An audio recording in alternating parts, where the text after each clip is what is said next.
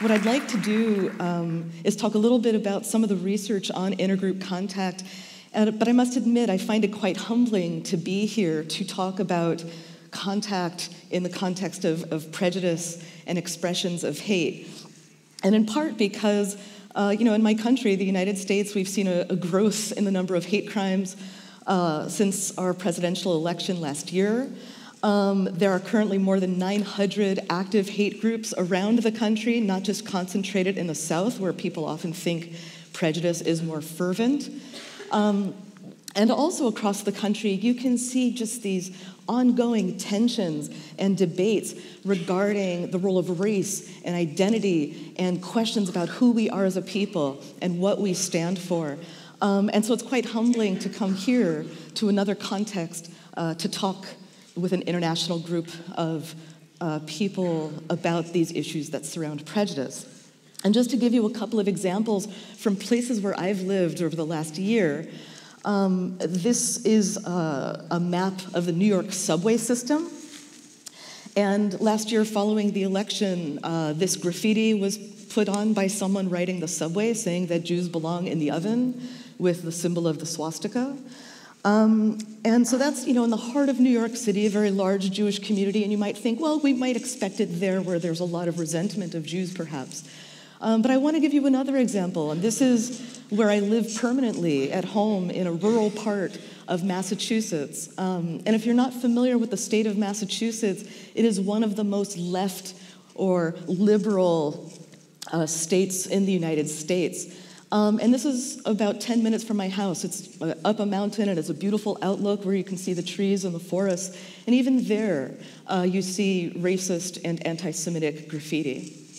But I also want to highlight that in both of these places, you also see volunteers, people who decided that they didn't want to just let those expressions of hate and prejudice exist, who took action to counter those messages. So, for example, here you see a man on the subway who just didn't feel comfortable sitting down and very literally stood up and just said, We have to clean this up. And so he and other voluntary subway riders just started cleaning the graffiti from the subway cars. And you can also see in the picture below on the right um, examples of volunteers who took a couple of weekends actually to go up to the top of this mountain and provide an opportunity uh, for people uh, to, to clean so that people can enjoy the natural beauty once again. Um, and then across the country, you see so many different expressions of protests um, where white people are going out of their way to stand up with black people and other people of color to combat hate, to say that we need to stop racism and that we're partially responsible for standing up, that it's our responsibility to do so, not just those who are affected by prejudice and discrimination. Um, and in particular, one of the things that I've been interested in is trying to understand well, what can motivate people to care in this meaningful way about groups beyond their own? And in part, this testimony from John Dutcher, a man who lives in Omaha, Nebraska, in the Plain States, um, his experience, I think, provides a good illustrative example. So he says, uh, he'll say directly how he felt about Muslims. He says, I hated Muslims um, and that his deep seated hatred came following the 9 11 terrorist attacks. But then they also describe how something then happened that Lutheran Family Services began placing refugee families in his apartment building. A Syrian family moved in across this hall, the Afghan family moved in downstairs, and altogether, six Muslim families moved within his building so that he's suddenly surrounded by the people that he had once hated.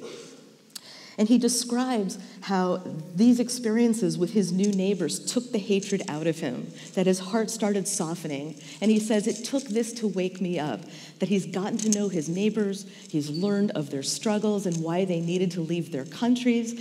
And this is a man who originally voted for our current president. And he says, If you had asked me before these people moved in, I would have said, Keep them out until you get to know these people. They're amazing. And he wants to help people learn how to get over the hatred that they might have. And his advice to everyone is if you hate a Muslim, go get to know one.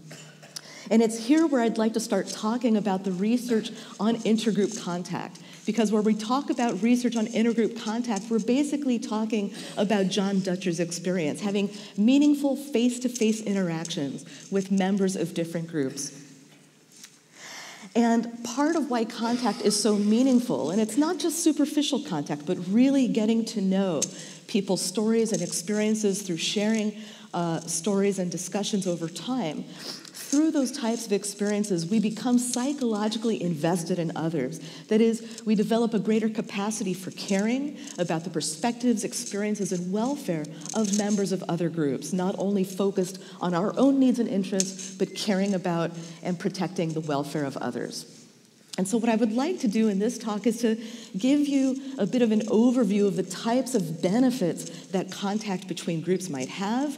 And we'll see examples of how contact can be effective to reduce prejudice uh, between groups, to build trust and reconciliation between groups with histories of conflict, how it can help to promote the welfare and interests of disadvantaged groups, and even encourage participation in collective action for racial justice. And I want to start by giving an example based here and supported by the Council of Europe. This is an example of the Living Library Program. And the Living Library Program is in many different places, and what this program seeks to do is to facilitate conversations between participants, people who take part in the program, who are the readers, and the volunteers who are willing to share their experiences with prejudice and discrimination and allow those readers to ask questions, who are the books, as if those readers are going to a library and taking out a book to learn, but instead of it being a book, it's a human being. And in this case, uh, we were focused on readers who were Hungarian high school students who were given opportunities to meet members of the Roma community, who were the books, these volunteers who were willing to share their experiences. And prior to their experience meeting Roma, uh, we assessed the reader's prejudice towards the Roma, both before they participated in this program and then again after they participated in the program. And just to give you an example of some of the prejudice measures that we included, one of the questions that we asked was whether Roma have gotten more economically than they deserve over the last several years. So that higher scores basically mean more expression of prejudice. And this is research that I conducted with Gabor Orosz, who you heard from earlier today. Um, so what we find, whoops, well, there would be a graph there, and what you would see in that graph is that the students who met the Roma showed a reduction in prejudice over time, whereas those students who did not meet a Roma person showed no change in prejudice over time. So, this is suggesting that, at least in part, one of the things that contact can do can help to reduce prejudice. Now, this is just one example of a research study. In fact, there have been hundreds and hundreds of research studies looking at the potential benefits of contact in reducing prejudice. And so, what I did with one of my colleagues is what's called a meta analysis where we tried to find every study we possibly could looking at the effects of contact on reducing prejudice and overall, we found over 500 studies conducted between 1940 and the year 2000, which included data from more than 250,000 participants in 38 different countries. And I can tell you, across all of that data, when we pull it together, what we find pretty consistently is that greater contact between groups is associated with lower prejudice. And we've also learned a lot from this analysis about how contact reduces prejudice. And there's a few different pathways that help to explain why contact is so useful and important.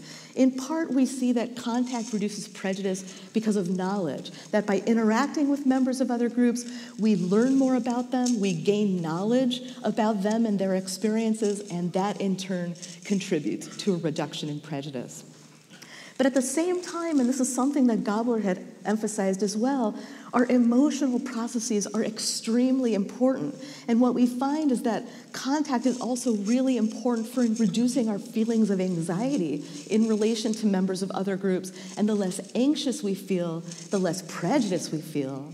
And at the same time, the more contact we have with other groups, the more we're able and willing to empathize with their concerns and their perspectives. And this also contributes to lower levels of prejudice. Now, we've talked a little bit so far about examples where contact can reduce prejudice, but I want, want to spend some time talking about some of these other outcomes as well. And in particular, how contact might help to uh, build trust and reconciliation between groups with histories of conflict. So here we conducted a community based survey of Protestants and Catholics in Northern Ireland. We asked them a series of questions regarding their contact experiences with members of the other community in part asking about the quality of their contact, asking do they have positive, friendly, close, or cooperative experiences with members of the other community, and then also asking on a more negative side about the extent to which they've personally suffered due to the conflict and violence between their communities. And then we also ask them some outcome questions. For example, you know, how do you feel towards this other group? Do you trust them? Do you think that they genuinely want peace with you? Do you feel that you're prepared and willing to work toward reconciliation with them? And what we find is that even among those who have reported personally suffering due to the violence and conflict between their communities, that the more contact they have with the other community, the greater trust they feel in those others, the more they believe that those others truly want peace instead of simply saying that they want peace but not taking it seriously. And we find that all these factors contribute to predicting people's own willingness to participate in efforts to promote reconciliation between the two communities. Now, at the same time, in addition to building trust, we can also think about the role that members of uh, historically advantaged or privileged groups might have in promoting more equal and just societies. So we also wanted to see whether contact could be useful to promote the welfare of disadvantaged groups. And here we conducted a national telephone survey of white South Africans, where again we asked them to report on their contact experiences, this time with black South Africans, using similar contact measures to what we had used previously. And we also asked them to report their attitudes towards a number of policies that were uh, implemented by the South African government that were designed to try to promote racial equality and reduce inequality in South Africa.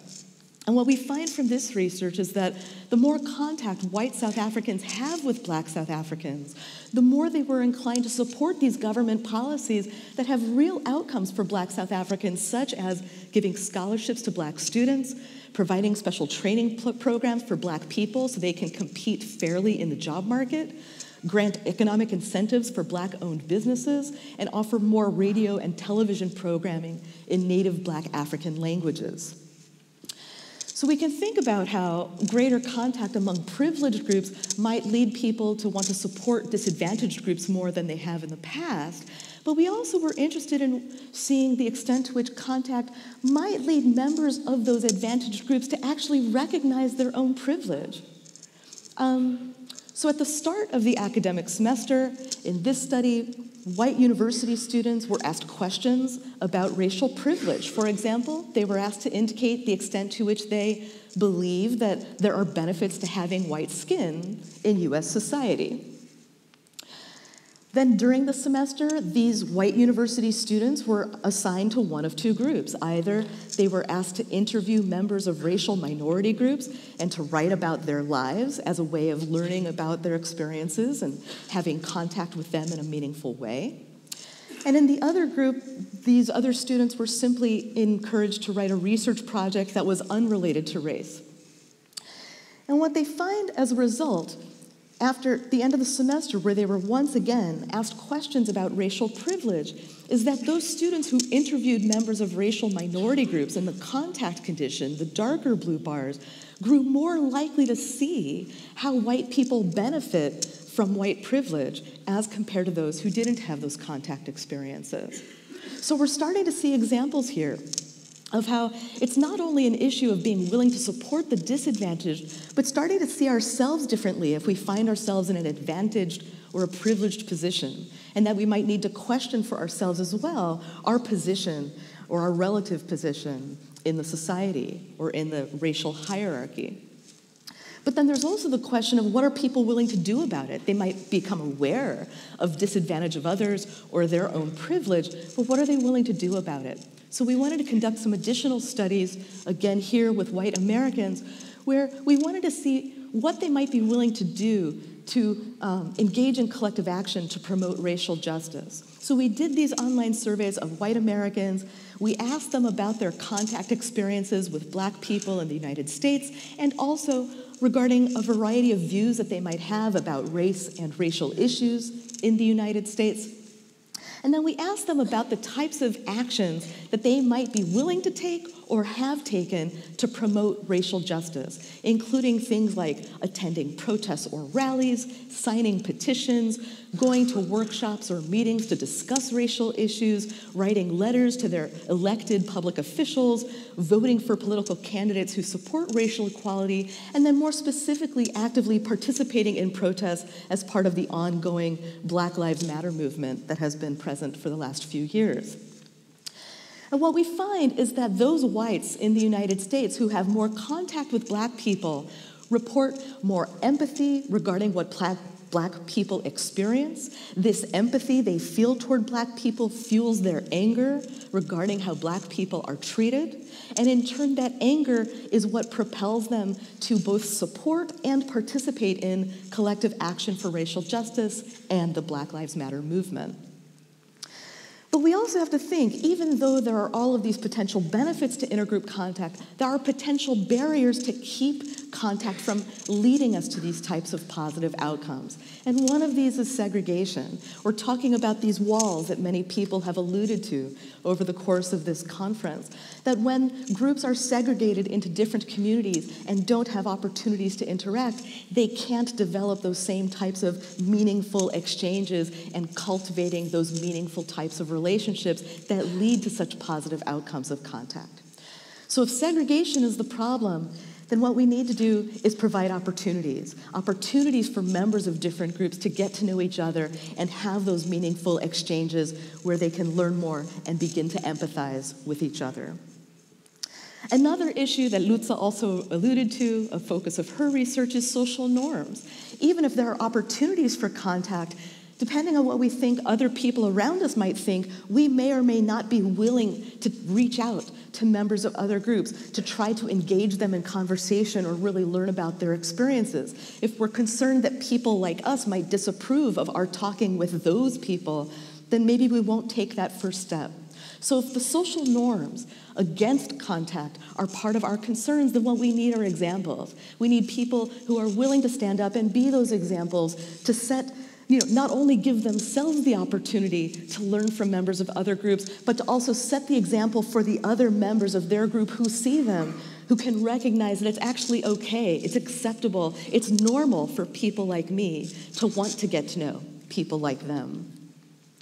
Another issue we need to think about, or a potential barrier, are stereotypes that others and have talked about as well, these boxes in which we tend to put people, that we might actually end up engaging in a conversation with a member of a different group. But if we're locked in to thinking about those people in terms of the stereotypes of their group, then we won't really give ourselves a chance to get to know them. We'll only interpret who they are and what they say through the lens of those stereotypes. So we need to release ourselves from the use of those stereotypes and really try to focus on the person and embrace the full humanity of the person sitting in front of us as compared to simply focusing on a few characteristics that we are informed might be associated with their group.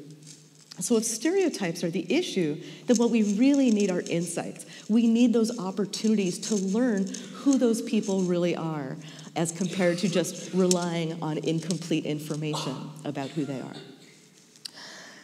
And finally, I want to mention fear and uncertainty. Even if we're prepared to let go of our stereotypes, we have supportive social norms, and we have opportunities to interact with members of other groups, it's still hard to do something new. It's uncomfortable for us to try things that are different. So, if we haven't had a lot of experience interacting with members of different groups, we might find it uncomfortable. And that's okay. It's actually a very normal thing to feel uncomfortable or uncertain when we try something new.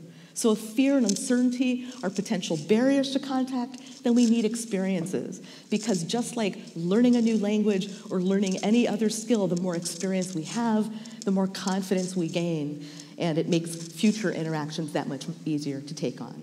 So, thank you very much for your attention.